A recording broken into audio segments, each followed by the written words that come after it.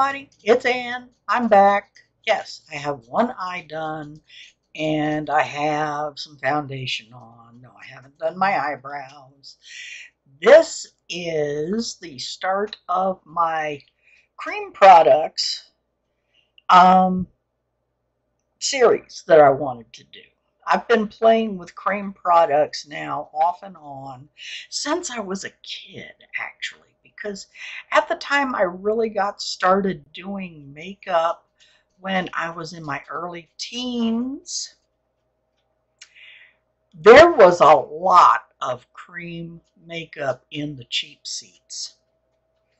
Mostly because the late 60s, if you wanted something brightly colored, it was more than likely going to be a cream. If you wanted something shiny, it was more than likely going to be a cream. Thank you, Max Factor. Hmm. Go look it up if you don't believe me. Plenty of research on it. Anyway, I've got one eye done. And what I have used is a kind of collection of things a lot of it's e.l.f. Some of it is Space Case Cosmetics. This came out of my very first Ipsy. This one's called Alien Love Child. It's their purpley thing. But it's really not that hard to work on your face and your eyes with creams. They just take a little practice. Not like powder needs any practice or anything. Ah, never. Let's get started and see if we can't figure out how to do this one. Since I did this one, and now I just got to remember everything I did so I can do this one. Okay. I actually started off trying to get my mirror reset here just a little bit. I started off with my Ruby Kiss eye primer. Now, sometimes I don't bother with an eye primer when I'm doing the creams. I just don't always bother. But for some reason, today was the day.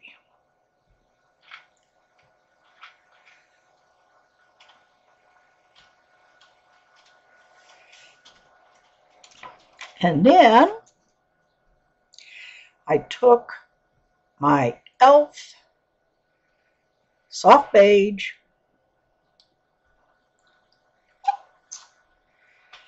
and laid it in up here. Kind of doing a transition, but only kind of. Put the lid back on. Pick up my brush. Make sure I've got the correct side. And just kind of spread that out. Now, the brushes I use mostly when I'm doing this are the ones that are pretty much dedicated to creams. And it's like I'm using concealer brushes and there are a few brushes that, that you can find that are that specifically say cream shadow. A lot of times I use my fingers for things. It depends. Once I get that spread out a little bit, I pick up my Molten Liquid Eyeshadow by e.l.f. e.l.f. e.l.f. My friend e.l.f. This one's in brushed copper. And I stick it over here.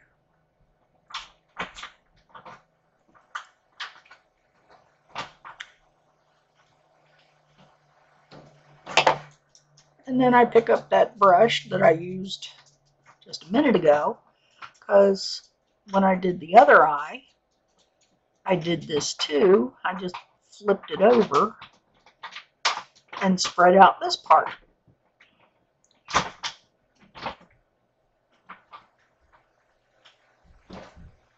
And then drug a little down here. Just for the heck of it. And then, now, some of this we're getting into the quote unquote tricky part. I'm just going to tell you it's the tricky part. None of this is really the tricky part. Now I've got my Alien Love Child, which is a really pretty purple with a blue shift, and it's gorgeous. And just going to start right there where that burnt copper left off and start heading for the side.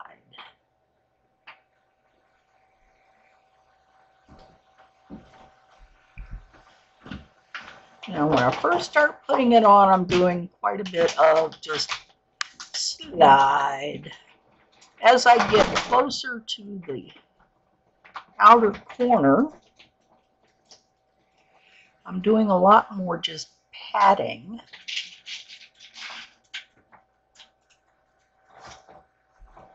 So that it gets gradually darker.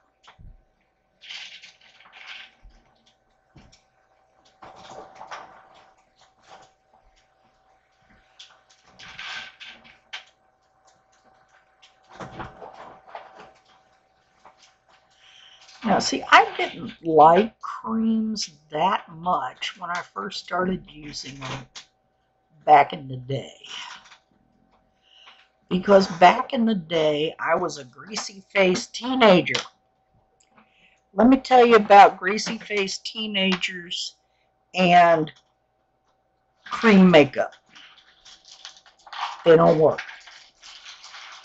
Not well, anyway. Anyway, now we have the elf. No budge stick shadow in blue steel. And I'm going, yes, I haven't finished with the purple, but I'm going to put the corner darkener in like that. Bring that down just a little bit.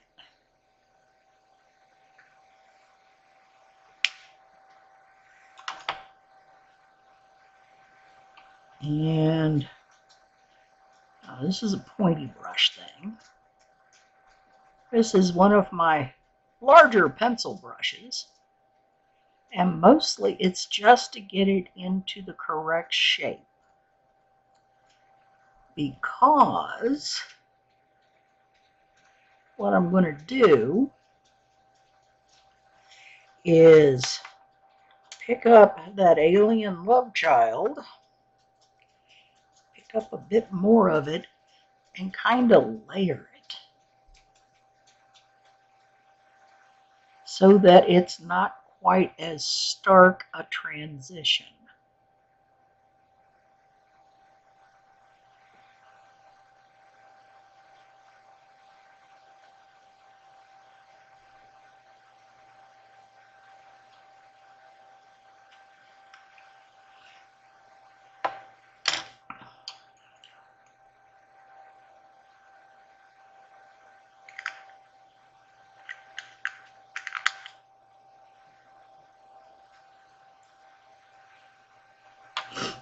And then I'm going to pick up that brush again and keep mixing.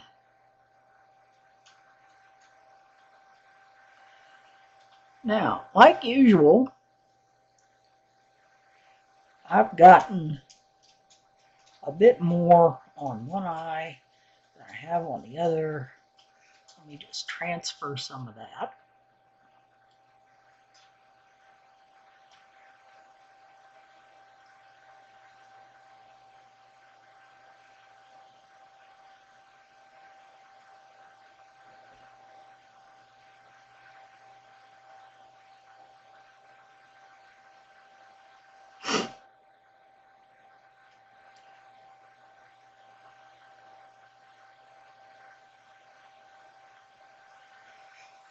All right.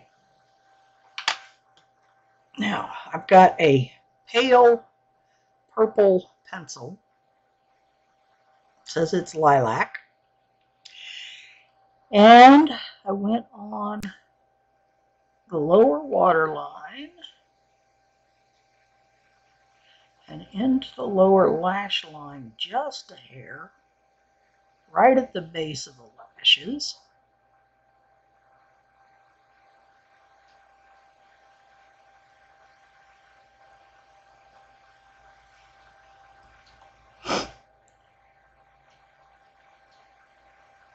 Yes, my concentration phase.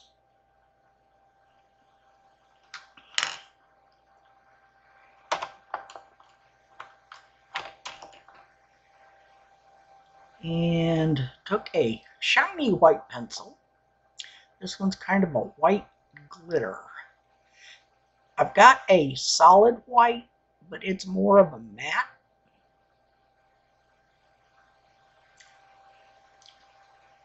And I just put a little bit of that into the inner corner because I'm doing this with as much cream product as possible. So I'm not going to be getting a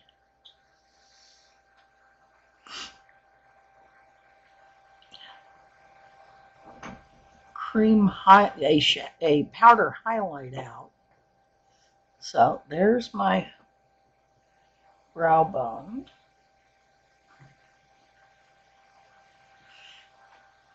Done with that same shimmery pencil. Now, I'm going to pull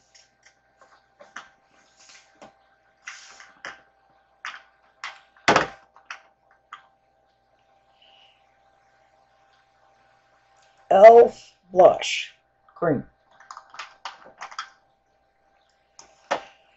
Wet n Wild Bronzer Cream. Wet n Wild Highlight Cream.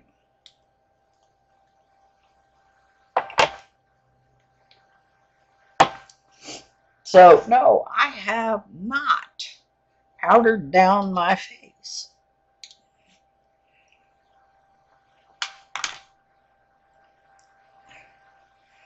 Buffing brushes.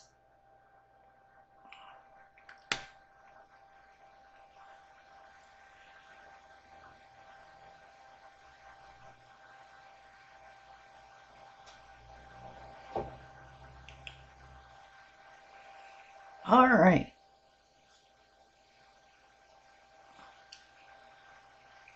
Start doing the face warm up. You don't need a lot.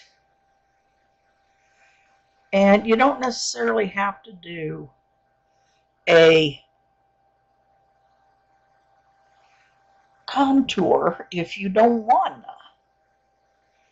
You can do the bronzer and let it roll.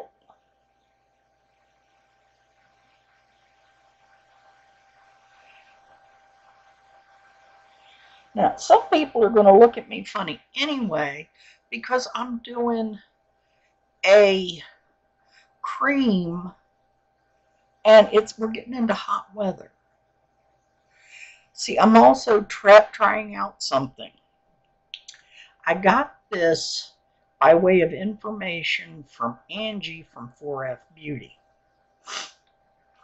And this is a sweat controller cream. It's basically an antiperspirant for your face and your hands and that kind of thing. If you've got a lot of problem with, you know, not being able to keep from getting overly dewy. And with me, overly dewy happens a lot. I've got fibromyalgia. It makes it difficult to regulate your own body temperature. It really does. It will mess with your internal controls.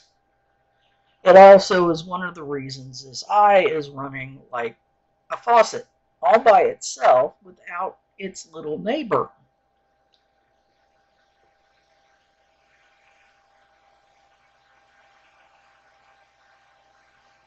Okay, there's my break line for the contour. Used a little bit more of the bronzer.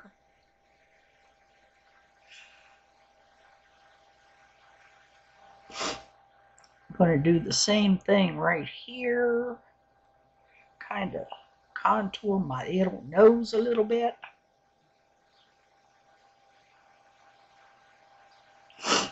I'm using the e.l.f. Serum Foundation in light. I like the Serum Foundation. I have a problem with some of the e.l.f. stuff though because their shade line is just so puny. It works great on my skin. But then I am like almost as pale as the handle of the brush.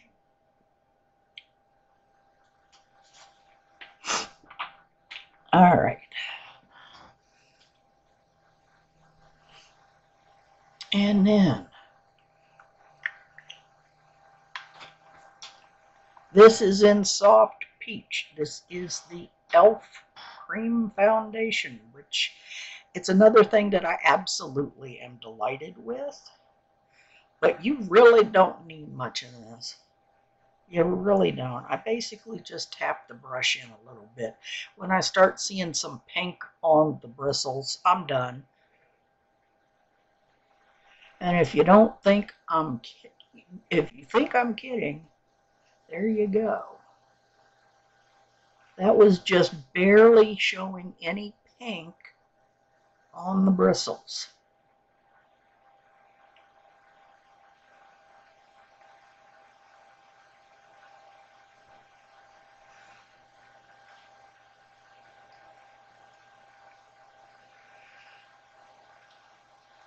Now, see, when I was growing up and first started noticing people doing makeup, my grandmother, my mom's mom, always wore makeup when she was going to work.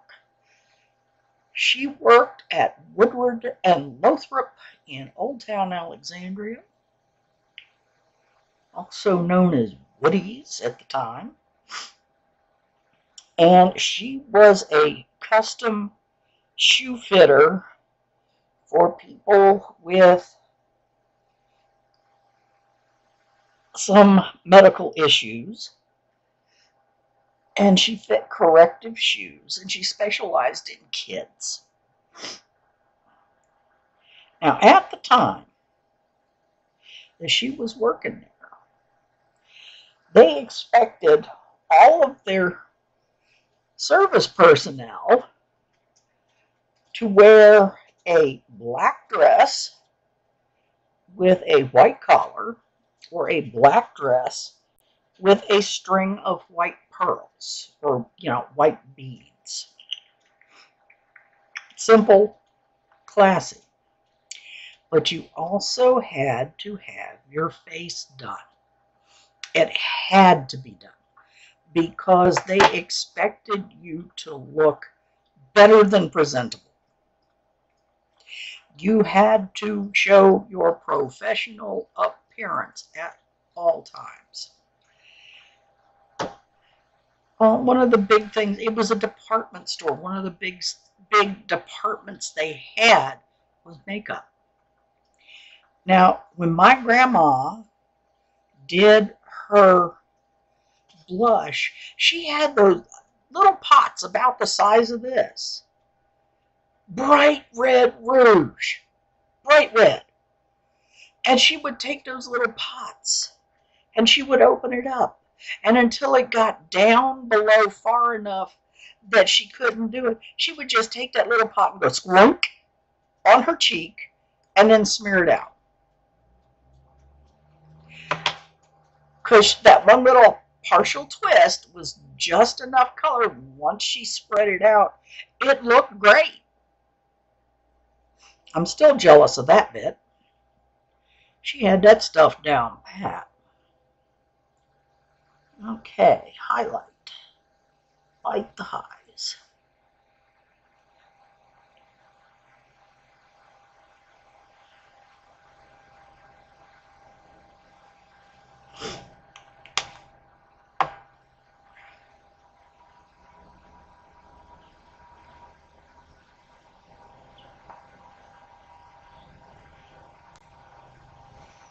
Just kind of carry that up and around.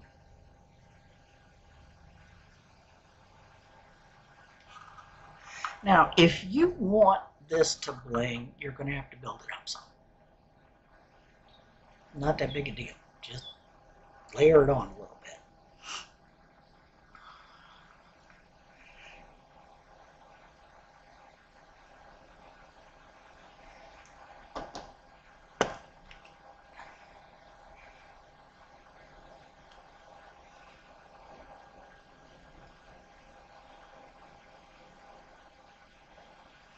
This is much easier to get on the Cupid's bow. It just is. And I've got, see, I love this brush. I got this brush from AOA Studio, and it's perfect for doing, you know, like these little angles in here, trying to do highlighters and such. And it comes with a, this is a $2 set. So you've got, you know, similar angles, different sizes, so that you can get into other spaces. And this one fits my nose really nicely.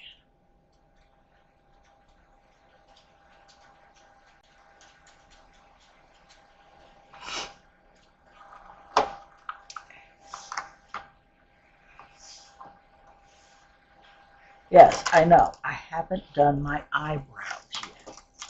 Keep your shirt on.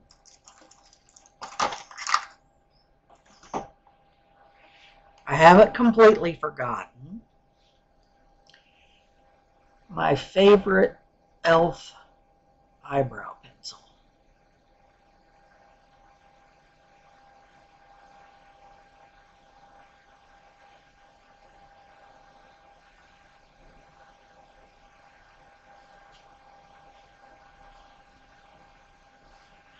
Yes, believe it or not, the eyebrows are growing in pretty nicely. But I was born blonde, okay? I spent the first two years of my life with hair so pale, people thought I was bald. There's some of my eyebrow hairs that still remember that code. Some of my eyebrow hairs have decided in the meantime, as my hair got darker over the years, some of them got red gold, some of them went dark brown. Now, my dad, my dad was born a towhead. His hair went jet black. I mean, we're talking the classic black Celt jet black hair and blue eyes. Yeah, daddy was pretty. His dad had violet eyes. I'm still PO'd I didn't get them. You know, come on, come on. Yes, I like my blue eyes, but granddad had violet. I wanted violet. And my sister ended up with red hair with copper streaks in it. So it was an auburn with copper streaks and green eyes. And my blue eyes went with blonde hair that went from white to about the time I was 15, 16, it was kind of a honey blonde. And then by the time I got to about 25, it was what the Victorians used to call light mouse, also known as dishwater blonde. And then it got a little bit darker and it became dark mouse, which is kind of like what I've got in the roots up here. What I've got growing in on the sides, after I've pretty much shaved my head down, it comes in real dark along the sides until it's been out in the sun for a while and then it starts to lighten up. Getting ready to dye this again because it's time because I got way too much root. Way too much root. Anyway, if once you get finished putting all of this stuff on, you still feel a little bit tacky go ahead and put powder over it because you would not have set your foundation down with powder before you did all the rest of your cream products. Now, I know some people have managed to layer cream products and powders repeatedly. However, they are usually working for the circus and they are clowns. And they're using really, really heavy stuff. you know, the, the, the like bright white stick cream makeups. And you powder it, and then you do it again. And then you powder it, and then you do it again. And then you spray it with Arrid Extra Dry so it doesn't ever move and you don't sweat it off. Yeah. Anyway, this is looking pretty good. I'm going to put my eyeliner on. Don't mind me, my hands are shaking. This is just a basic LA Colors liquid.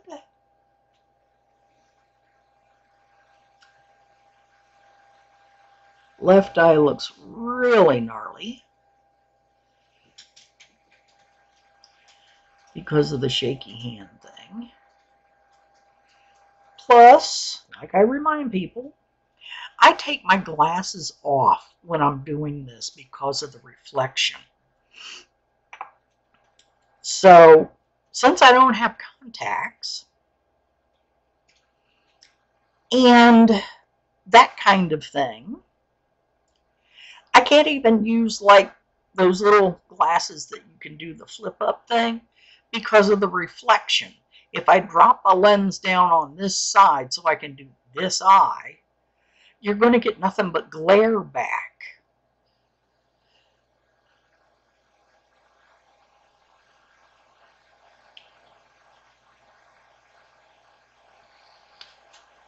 Now, I'm trying out this Wet n Wild Max Volume mascara because if you are familiar with the Bad Gal Bang, this has got a very similar wand. It's got that flexy thing going on and the shape is about the same. I don't know about the formula yet. We'll see. I have found with some of the Wet n Wild mascaras you kind of have to get them open, get some air in them, and then they thicken up a little bit more and perform better. Do, do, do.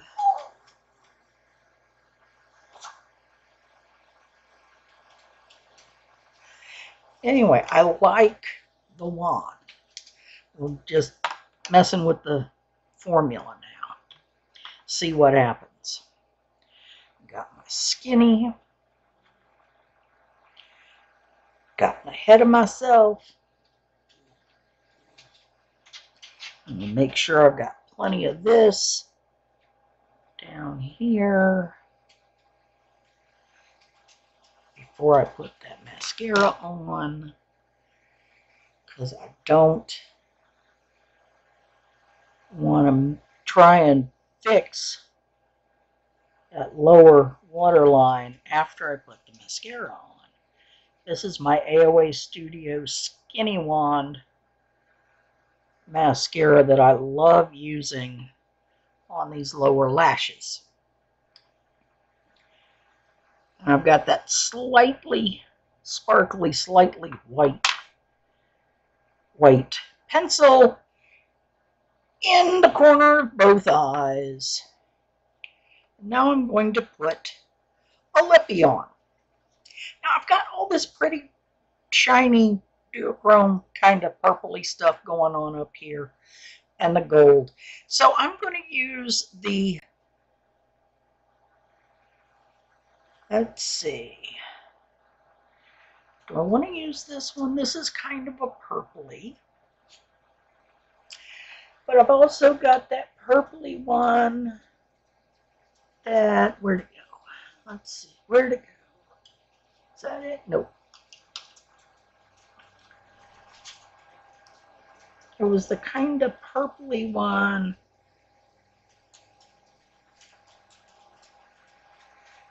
That was pinky with a slightly, yeah, fuchsia pearl with a blue.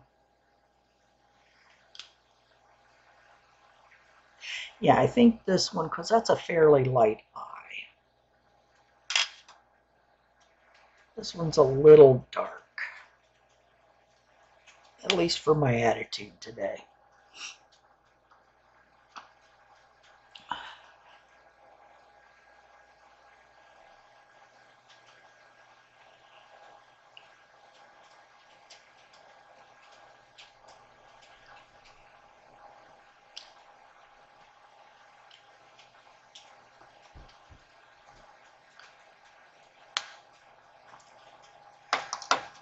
And if you want, you can still set spray it down. I'm going to get my Wet and Wild Rose.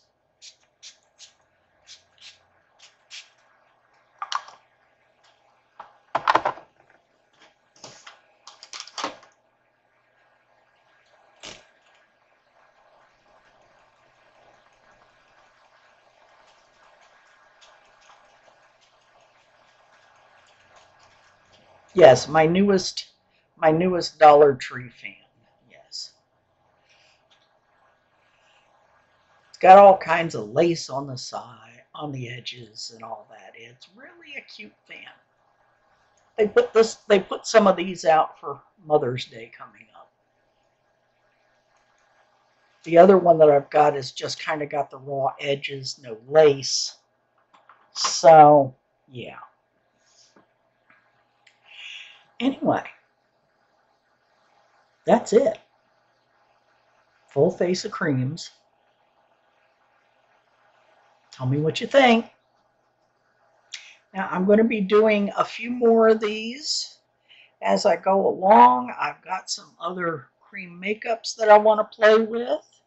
Yes, my hair is a wreck, but hey, with this hairstyle, who knows? Who could tell?